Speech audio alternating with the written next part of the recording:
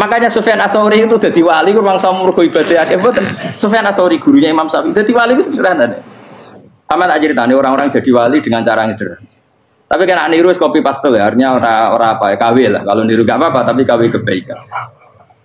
Sufyan Asauri itu ditanya, kenapa kamu sedekat itu sama Allah dan anda keramat? Jadi resepnya mengenai itu. Eh, saya itu belum pernah ke masjid nunggu adzan.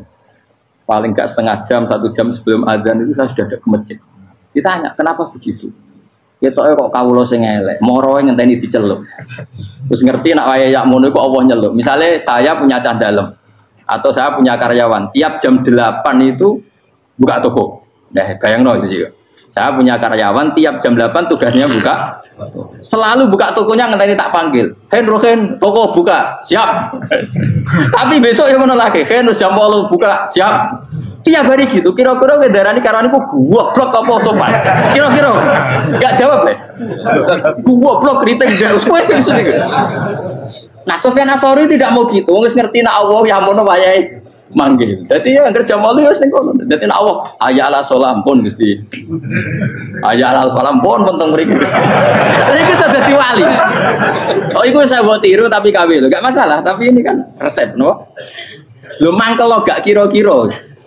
Ono karyawan tiap jam bolu kon buka toko. Selalu marane ngenteni di pagi.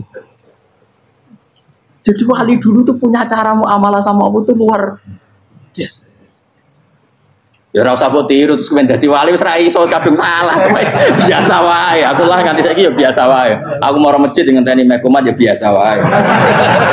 Tapi aku kan iso dadi wali lewat jalur liya lah aku ya.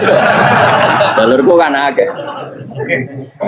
Mulang ya mari wali, sabar ning coba ya mari wali. Jane ana jalur fikir ya mari wali. Tapi kan loro fikir loro. Jadi Imam Adil ya wali, dia bojo judes yo wali masyur ono wali mau baru kayak di bojo jadi ya jalur jadi wali wah lebih ngeri lagi ngeri tenang nanti akhirat uti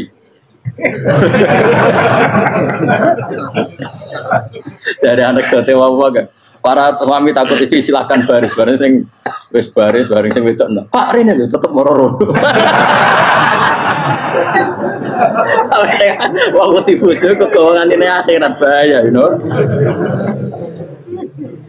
Yes. Bahaya mau di bojo nganti kegawan apa? Masyur jadi cerita-cerita wali guys. Biasa ulang lagi ya. Latih, meskipun dari kecil latih. Makanya kamu tahu kenapa Quran itu kalau ngendikan sujud kayak gitu spesial.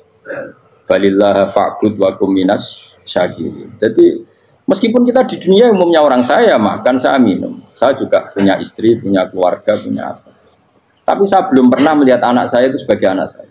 Saya kalau melihat anak saya ini teman sujud saya, nanti yang meneruskan sujud saya. Saya tenan kulon bolak balik ditanya istri saya dan agak-agak marah.